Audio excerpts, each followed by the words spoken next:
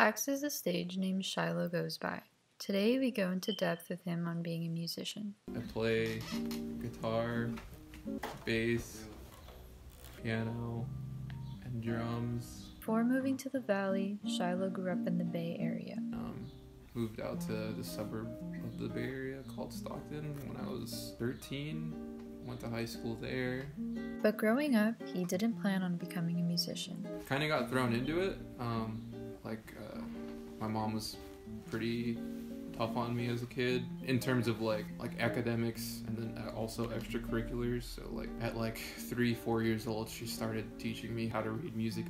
I didn't really start getting into music until i was probably 11 or 12 With his mom pushing him to succeed, we also have these influences to thank. uh, where do i start?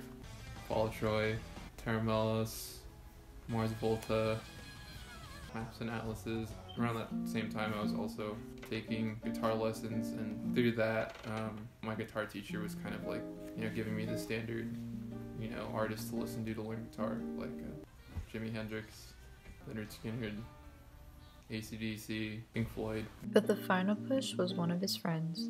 you know like as i started making more and more stuff uh, like one of my friends that was a producer you know kind of told me like there's something here you should probably you know keep doing it His mom left him some life advice that still sticks with him today. The best advice I've ever been given was by my mom. Everybody loves a risk taker. If somebody decides to be comfortable their entire lives, and you know, where's the fun in that? So if you have an opportunity to take a risk, then do it.